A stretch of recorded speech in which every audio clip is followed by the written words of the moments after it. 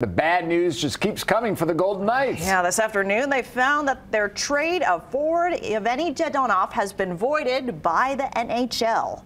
Fox 5's Kevin Bollinger joins us now in studio to tell us what's next. Yeah. it's been a disaster, hasn't it, guys? 48 hours later, the much discussed trade of Evgeny Dadonov to the Anaheim Ducks has been ruled invalid by the NHL because Dadonov had a 10 team no trade clause in his contract that included Anaheim.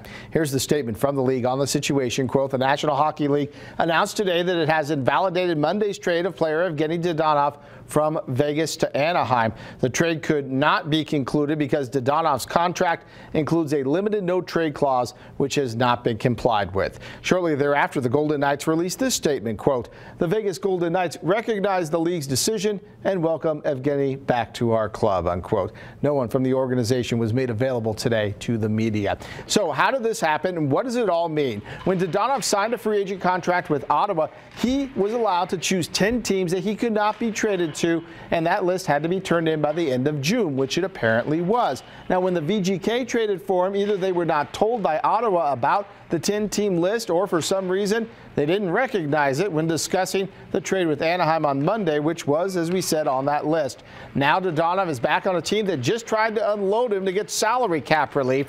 The Golden Knights could still trade him to a team that's not on the list, but under NHL rules, Dadonov would not be able to play until next season. So it would have to be a team that's out of the playoff picture that's looking to take on salary to maybe gain players or picks in return. With Dadonov on the roster, which he is right now, Cap Friendly says Vegas has just over $400,000 left of cap space, which puts them in a tough spot to try and find room to bring players off the long-term injured list like Mark Stone or Alec Martinez. This has been a soap opera and it continues. We're going to keep you up to date. Also, some big NFL news today. The Raiders quiet in terms of signing free agents, but there was a big move that impacts them. The Chiefs trading wide receiver Tyreek Hill to the Miami Dolphins in exchange for five draft picks, including a first and second rounder this year. This is really a similar situation to wide receiver Davante Adams going to the Raiders. Hill was nearing the end of his deal. The Chiefs didn't want to pay him what he wanted in a new contract, but the Dolphins did. They not only gave up the picks, but they gave Hill a four-year, $120 million extension. The short-term wise, it's going to take away one of the Chiefs' biggest offensive weapons. That helps the Raiders, but those draft picks give Kansas City a chance to maybe reload, and that could help them in the long term. This has been a wacky NFL offseason, and it continues. We'll stay on top of that. Back to the Golden Knights, of course, also been wacky with all this stuff swirling around and the fact that they're not winning.